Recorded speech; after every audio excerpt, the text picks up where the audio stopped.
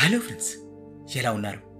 Welcome to our channel ఈరోజు మీ ముందుకు తీసుకురాబోతున్న పుస్తకం the most influential book of the decade Carol Dweck రాసిన mindset whatever you think that you will be if you think yourself weak weak you will be if you think yourself strong you will be strong నీ గురించి నువ్వు ఏం ఆలోచిస్తున్నావో అదే అవుతావు. నీ గురించి నువ్వు బలహీనుడు అనుకుంటే నువ్వు బలహీనుడుగా మిగులుతావు. అదే నువ్వు బలవంతుడు అనుకుంటే నువ్వు బలవంతుడు అవుతావు. చెప్పినవారు స్వామి వివేకానంద. మన భవిష్యత్తు మన విజయం అంతా కూడా మన యొక్క ఆలోచన విధానం మీదే ఆధారపడి ఉంటుంది ఫ్రెండ్స్. మరి అలాంటి ఆలోచన విధానం ఎలా ఉండాలి? ఈ పుస్తకం ఎంతో మంది యొక్క ఆలోచన విధానాన్ని మార్చి వాళ్ళని విజయం వైపు నడిపించగలిగింది. మరి మీ పుస్తకంలోకి వెళ్ళే ముందు మీరు ఇప్పుడే మన ఛానల్ ఇన్స్పైర్ ఫ్రమ్ బుక్స్ని చూస్తుంటే ఈ ఛానల్ మీ జీవితానికి దారిని చూపే స్ఫూర్తినిచ్చే famous book summaries motivational movies motivational stories వీటన్నిటిని కూడా తెలుగులో ఎక్స్ప్లెయిన్ చేస్తున్నామండి. ఈ ఛానల్ మీకు నచ్చితే లేటెస్ట్ వీడియోస్ కోసం మీ బెల్ ఐకాన్ని యాక్టివేట్ చేసుకోండి. మీ ఫ్రెండ్స్ అందరికీ కూడా మన ఛానల్ని షేర్ చేయండి. ఇక పుస్తకంలోకి వెళ్ళిపోదాం.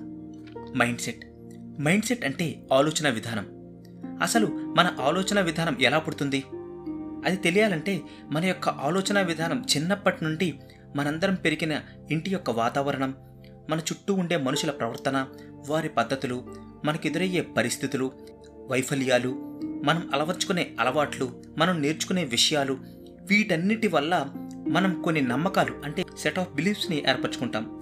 ఈ నమ్మకాలు విశ్వాసాల ప్రకారమే మన శక్తిని మనం అంచనా వేసుకుంటాం నిర్ణయించుకుంటాం. దాని ప్రకారమే ఆర్థిక సామాజిక కుటుంబ నైపుణ్యాల విషయంలో అందరం కూడా నిర్ణయాలు తీసుకుని వాటిని అమలు చేస్తాం.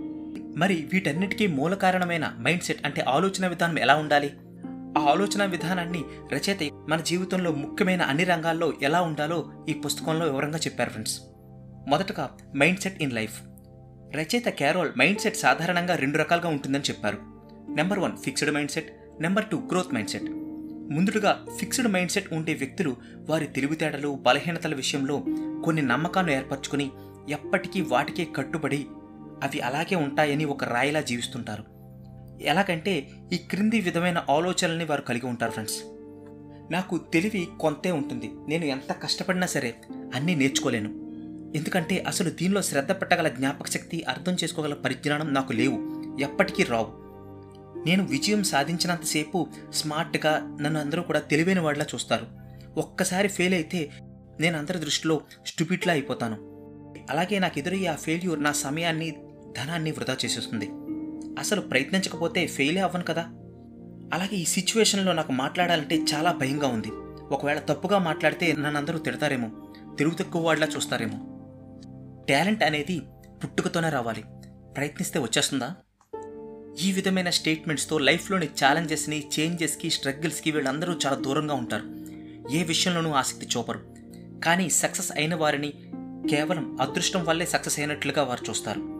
అలాగే అలాంటి వారిని చూసి అసూయపడుతూనే జీవిస్తారు. అలాగే ఈ ఫిక్స్డ్ మైండ్ సెట్ తెలివైన వారిలో కూడా ఉంటుందండి. ఎలాగంటే కొంతమంది టాలెంటెడ్ వ్యక్తులు ఉంటారు. వారికి ఒక విధమైన గర్వం ఉంటుంది. నాకున్న టాలెంట్కి ఇంత కష్టపడక్కర్లేదు. ఇంత సమయాన్ని వెచ్చించక్కర్లేదు. నేను తెలివైన వాడిని అందరిలా ఎక్కువ ఎఫర్ట్ పెట్టాల్సిన అవసరం లేదు. కొంత సమయం చాలు నాకు పూర్తి చేయడానికి. అస్తమను ప్రాక్టీస్ చేయాల్సిన అవసరం నాకు లేదు. అలాగే ఇతరుల్ని అడిగి నేను నేర్చుకోను. వాళ్ళే నా దగ్గర నేర్చుకోవాలి. ఇటువంటి గర్వంతో కూడిన ఫిక్స్డ్ మైండ్ సెట్ చాలామంది తెలివైన వాళ్ళలో కూడా ఉంటుంది ఫ్రెండ్స్ ఇప్పుడు గ్రోత్ మైండ్ సెట్ గల వ్యక్తుల యొక్క ఆలోచన విధానం ఎలా ఉంటుందో చూద్దాం. వారందరూ కూడా లైఫ్లోని ఛాలెంజెస్ అన్నింటినీ కూడా ధైర్యంగా ఎదుర్కొంటారు. అలాగే ఆ ఛాలెంజెస్లో వారికి ఎదురయ్యే ఫెయిల్యూర్స్ అన్నింటినీ కూడా పాఠాలుగా నేర్చుకుంటారు. ఆ ఫెయిల్యూర్స్ని వాళ్ళు ఆటంకాలుగా కాక అవకాశాలుగా చూస్తారు. ఈ విధమైన ఆలోచన విధానంతో ఉంటారు ఫ్రెండ్స్ నేను ఏ కళనైనా సరే ఎఫర్ట్ పెట్టి ప్రాక్టీస్ చేస్తే ఖచ్చితంగా నేర్చుకోగలను. ఈ ప్రాక్టీస్లో నాకు ఫెయిల్యూర్స్ ఎదురైనా వాటిని కరెక్ట్ చేసుకుని పేషెన్స్తో డిసిప్లైన్డ్గా నిర్ణీత సమయం వరకు నేను కష్టపడితే సక్సెస్ లేటుగా వచ్చినా సరే చాలా పెద్దగా వస్తుందని నమ్ముతాను. నా జీవితంలో ఎదురయ్యే ఫెయిల్యూర్స్ అన్నిటినీ కూడా నేను ఛాలెంజెస్గానే చూస్తాను. నేను ఎంతవరకు ఆ ఛాలెంజెస్ని ఎదుర్కొంటే అంత స్మార్ట్గా మారతానని నాకు తెలుసు. అలాగే ఇంటెలిజెన్స్ టాలెంట్ రెండు పుట్టుకతో రావు. కేవలం కంటిన్యూస్ ప్రాక్టీస్ ఎఫర్ట్ పేషెన్స్తో మాత్రమే ఎవరైనా వాటిని సాధించగలుగుతారు. పెర్ఫెక్షన్ అనేది ఒక్కసారిగా రాదు. దేనిలో అయినా సరే సాధన చేయగా చేయగానే వస్తుంది. నా ప్రయత్నంలో ఎదురయ్యే వైఫల్యాలను నా టాలెంట్ మీద డౌట్స్గా కాకుండా కేవలం వాటిని పాఠాలుగా నా గ్రోత్కి ఉపయోగించుకునేలా చేస్తాను. సక్సెస్ అయిన వారిని చూసి ఇన్స్పైర్ అవుతాను. వీలైతే వారిని కలిసి వారి నుండి సలహాలు తీసుకుని ఆచరిస్తాను. నేను అనుసరించే విధానాల్లో ఎవరైనా తప్పులు చూపించినా విమర్శించినా నిజంగా అందులో సరిచేసుకోవాల్సింది నేర్చుకోవాల్సింది ఏదైనా ఉందా అని ఆత్మవిమర్శ చేసుకుంటాను. నన్ను విమర్శించిన వారిని నా స్నేహితులుగానే చూస్తాను. ఎందుకంటే వారు ఎత్తి చూపించే నా వీక్నెస్ నాకు తెలిసినప్పుడే నేను కరెక్ట్ చేసుకోగలను కదా? ఇటువంటి పాజిటివ్ యాటిట్యూడ్తో ప్రతి విషయంలోనూ ఇంట్రెస్ట్ ఎఫర్ట్ పేషెన్స్కి ఎక్కువ విలువిస్తూ వాటిని పాటిస్తూ జీవితంలో ముందుకు నడుస్తారు friends next mindset in business A business యొక్క సక్సెస్ అయినా కేవలం ప్రాఫిట్స్ మీదే ఆధారపడి ఉండదు ఫ్రెండ్స్ ఆ బిజినెస్ కష్ట సమయంలోనూ కూడా ఎలా పెర్ఫామ్ చేయగలుగుతుంది? ఆ కష్ట సమయాన్ని తట్టుకొని ఆ బిజినెస్ ఎంతవరకు నిలబడింది? అనే దానిపై ఏ బిజినెస్ యొక్క సక్సెస్ అయినా ఆధారపడి ఉంటుంది. అలాగే ఏ బిజినెస్ యొక్క సక్సెస్ అయినా వారి యొక్క ఎంప్లాయీస్ మేనేజర్స్ సీఈఓస్ లీడర్స్పై ఎక్కువగా ఆధారపడి ఉంటుంది. ఈ ఫిక్స్డ్ మైండ్ సెట్ గల వ్యక్తులు బిజినెస్లో నాయకులుగా ఉన్నప్పుడు వాళ్ళందరూ కూడా వాళ్ళ ఎంప్లాయీస్ని పెర్ఫార్మెన్స్ అవుట్పుట్ ఆధారంగానే జడ్జ్ చేస్తారటండి. అలా ప్రతి ఎంప్లాయీని పెర్ఫార్మెన్స్ ఆధారంగానే జడ్జ్ చేయడం వల్ల ఆ ఎంప్లాయీస్ అందరూ కూడా ఇతరుల కంటే నేను బాగా పెర్ఫామ్ చేయాలి అనే పోటీ మనస్తత్వంతో ఇతరుల పనిలో లోపాలు వెతుకుతారు. అలాగే తన పనిలోని తప్పుల్ని బయటకు చెప్పకుండా దాచిపెడతారు. అలాగే తమ వర్క్ని ఇతరులతో షేర్ చేసుకోరు. ఆ షేర్ చేసుకోకపోవడం వల్ల కొత్త ఐడియాస్ బయటికి రావు. కొత్త ఐడియాస్ బయటికి రానప్పుడు సమస్యలు వచ్చినప్పుడు వాటికి సొల్యూషన్స్ కూడా బయటికి రావు. బిజినెస్లో పనిచేసే ఎంప్లాయీస్ అందరూ కలిసి పనిచేయాలి. అప్పుడే ఒక సమస్య వచ్చినప్పుడు దానికి సంబంధించిన సొల్యూషన్స్ నలుగురు చెప్తారు. ఆ సొల్యూషన్స్లో ఒక మంచిది తీసుకుని దాన్ని మోడిఫై చేసి అమలుపరిచినప్పుడే ఏ బిజినెస్ అయినా సక్సెస్ అవుతుంది. అందుకే సక్సెస్ఫుల్ బిజినెస్ లీడర్స్ వాళ్ళ యొక్క మేనేజర్స్ని ఎంప్లాయీస్ని గ్రోత్ మైండ్ సెట్ ఉండేలా ట్రైన్ చేయాలటండి అంటే వాళ్ళందరికీ కూడా కేవలం వాళ్ళ యొక్క పెర్ఫార్మెన్స్కే కాకుండా వాళ్ళ యొక్క డిసిప్లైన్కి ఎఫర్ట్కి కూడా గుర్తింపునివ్వాలి ప్రోత్సహించాలి. అలాగే వారిని కొత్త నైపుణ్యాలు నేర్చుకునేలాగా వారు అందులో వారు చేసే తప్పుల్ని కూడా వారు క్షమించి వాటిని పాఠాలుగా మార్చి ముందుకు సాగమని ప్రోత్సహించాలి. అలాగే కంపెనీ అంటే ఒక్కరు కాదని కంపెనీ అంటే గ్రూప్ ఆఫ్ పీపుల్ అని అందరూ కూడా ఒకరితో ఒకరికి ఉన్న విభేదాలను మర్చి కలిసిమెలిసి కంపెనీ గురించి ఆలోచించాలి కంపెనీని ముందుకు తీసుకెళ్ళాలి అని ఒక ప్రోత్సాహకర వాతావరణాన్ని కంపెనీలో కలిగించాలి. అలా మేనేజర్స్ అందరూ కూడా ఒక గురువులా వ్యవహరించాలని రచయిత ఈ పుస్తకంలో చెప్తున్నాడు friends. Next mindset in parenting. రచయిత క్యారోల్ ఒక పది మంది స్టూడెంట్స్ని రెండు గ్రూపులుగా విభజించారు. ఆ రెండు గ్రూప్స్లో వాళ్ళందరినీ కూడా వేరే వేరే రూమ్స్లో పెట్టి ఒక రూమ్లో వారికి కొన్ని క్వశ్చన్స్ ఇచ్చి వాటిని పూర్తి చేయమన్నారు.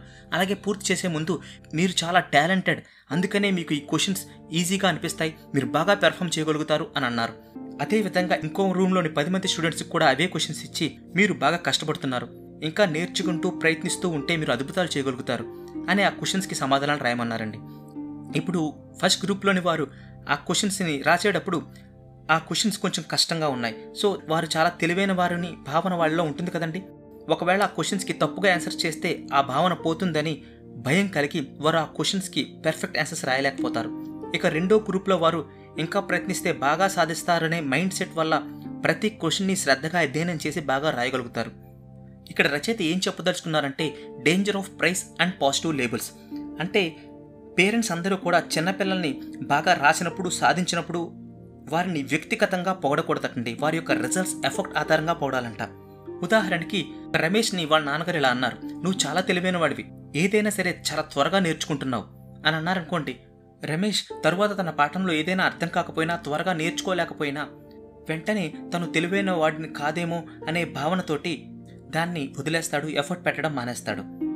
ఈ విధంగా ఫిక్స్డ్ మైండ్ సెట్ ఉన్న వారందరూ ఇలాగే చేస్తారటండి. అదే గ్రోత్ మైండ్ సెట్ ఉన్నవారు ఆ పిల్లల యొక్క సక్సెస్ కంటే వాళ్ళ యొక్క ఎఫర్ట్ని కంటిన్యూస్ ఇంప్రూవ్మెంట్స్ని వాళ్ళు ప్రైజ్ చేస్తారట. ఎలా అంటే రమేష్ ఈ సక్సెస్ కోసం నువ్వు రాత్రింబవళ్ళు చాలా కష్టపడి పనిచేసావు నీ కష్టాన్ని శ్రమని నేను అర్థం చేసుకున్నాను అని చెప్తే వాళ్ళు విజయం సాధించిన విధానాన్ని పిల్లలు గుర్తుపెట్టుకుంటారు. అదేవిధంగా ఫెయిల్యూర్ని పిల్లల్లో భయంగా ఆటంకాలుగా చూపించకూడదు.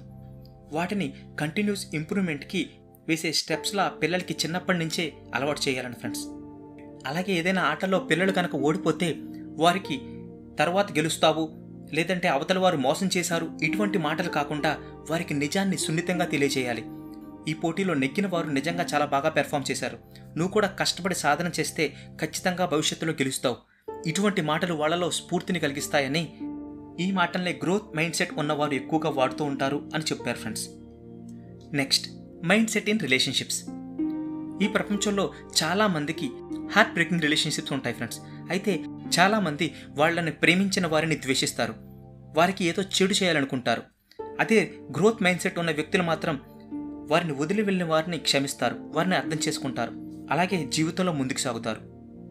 ఫిక్స్డ్ మైండ్ సెట్ ఉన్న వ్యక్తులు వాళ్ళ యొక్క పార్ట్నర్తో ఎప్పుడైనా సమస్య వచ్చినప్పుడు ఆ సమస్య యొక్క నెపాన్ని వాళ్ళ పార్ట్నర్ వైపు వేస్తారు. కేవలం వారి యొక్క కోపాన్ని చూపెట్టడం భావోద్వేగాన్ని ప్రదర్శించడం ద్వారా ఆ వాదనలో గెలవడానికి ప్రయత్నిస్తారు. దానివల్ల వారి ఇరువురి మధ్య మనస్పర్ధలు ఇంకా పెరిగిపోతాయి. అదే గ్రోత్ మైండ్ సెట్ ఉన్న వ్యక్తులు ప్రాబ్లమ్స్ లేని రిలేషన్షిప్స్ ప్రాక్టికల్గా ఉండవు అని అర్థం చేసుకుంటారు. వారికి ఏదైనా సమస్య ఎదురైనప్పుడు ఆ సమస్య ఎవరి వల్ల వచ్చిన దానికంటే ఆ సమస్య ఎలా పరిష్కరించబడుతుంది అనే దానిపైన ఎక్కువ శ్రద్ధ పెడతారు. కేవలం వాదనతో కాకుండా లాజిక్తో పేషెన్స్తో వాళ్ళు సిచ్యువేషన్ని డీల్ చేస్తారు. నిజానికి మేల్ ఫిమేల్ ఇద్దరికి కూడా నైపుణ్యాలు ఇష్టాలు విలువలు నమ్మకాల్లో అనేక తేడాలు ఉంటాయి ఫిక్స్డ్ మైండ్ సెట్ వాళ్ళు వాళ్ళ యొక్క సొంత నమ్మకాల ఆధారంగా ఇష్టాల ఆధారంగా అవతలి పార్ట్నర్స్ కూడా అలాగే జీవించాలి అని అనుకుంటారు. కానీ గ్రోత్ మైండ్ సెట్ గల వ్యక్తులు అవతలి వారి విలువలు ఇష్టాలు నైపుణ్యాలను తెలుసుకుని వాటిని సాధించడంలో వారికి సహాయం చేస్తారు. ఇక ఆఖరిక మైండ్ సెట్ ఇన్ స్పోర్ట్స్. మీకు సచిన్ టెండూల్కర్ తెలిసే ఉంటారు. సచిన్ టెండూల్కర్ అద్భుతంగా క్రికెట్ ఆడతాడు. అయితే నాకు అన్ని షాట్స్ వచ్చు నేను అద్భుతంగా క్రికెట్ ఆడగలను అని ప్రాక్టీస్ చేయకుండా ఉంటాడా? తన జీవితంలో కొన్ని వేల గంటలు ప్రాక్టీస్ చేశాడండి. అదేవిధంగా ఫిక్స్డ్ మైండ్ సెట్ గల వ్యక్తులందరూ కూడా ఈ స్పోర్ట్స్లో కూడా వారికి టాలెంట్ నైపుణ్యం ఉంటాయి. అయితే వాటినే నమ్ముకొని ఎఫర్ట్ అంటే వాళ్ళ ప్రయత్నాన్ని కంటిన్యూస్గా చేయడం మానేస్తారు. అందుకనే కొంతకాలం వాళ్ళు సక్సెస్ అయినా తరువాత ఫెయిల్యూర్ వచ్చినప్పుడు వాళ్ళు కునిగిపోతారు వెనక్కుండిపోతారు. ఇంకొంతమంది వాళ్ళలో అద్భుతమైన టాలెంట్ లేకపోయినా కంటిన్యూస్ ఎఫర్ట్ ప్రయత్నంతో ప్రాక్టీస్ చేస్తూ చేస్తూ ఉండగా వాళ్ళకి ఆ కళలో అద్భుతమైన నైపుణ్యం వస్తుంది ఫ్రెండ్స్. అందుకే అన్నారు హార్డ్ వర్క్ బీట్స్ టాలెంట్ అని. ఈ విధంగా మన యొక్క మైండ్ సెట్ లైఫ్లో బిజినెస్లో పేరెంటింగ్లో రిలేషన్షిప్స్లో స్పోర్ట్స్లో ఎలా ఉండాలి అని అనేక ఉదాహరణలతో రచయిత పుస్తకంలో వివరించారు ఫ్రెండ్స్. ఒక్కసారి ఈ పుస్తకాన్ని చదవండి. ఈ వీడియో కనుక మీకు నచ్చితే ఈ వీడియోని ఎక్కువగా లైక్ చేయండి. మీరు అందించే ఒక్కో లైక్ ఈ వీడియోని ఇంకా ఎక్కువ మందికి చేరవేస్తుంది ఫ్రెండ్స్. అలాగే వీడియో నచ్చిన వారు సబ్స్క్రైబ్ అవ్వడం మర్చిపోకండి. Thank you